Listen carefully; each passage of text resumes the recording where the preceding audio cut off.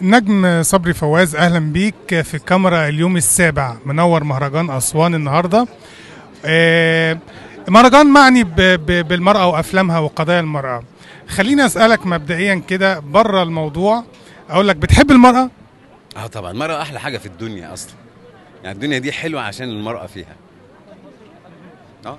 آه طيب آه بالنسبة لل- للسينما بقى نرجع للسينما. هل بتشوف إن في فيلم معين بيعبر عن قضايا المرأة المصرية؟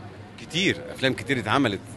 زي مرأة. كتير يعني آه آه, آه ال- الأستاذة فاطمة آه إمبراطورية ميم آه زيزي عائلة زيزي آه أسماء.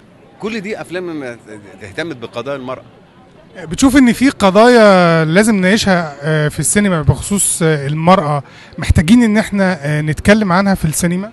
كل قضايا المرأة تستحق المناقشة في السينما وفي الفيديو وفي الإعلام لأنه أما أما المرأة حالها يستقر المجتمع حاله يستقر.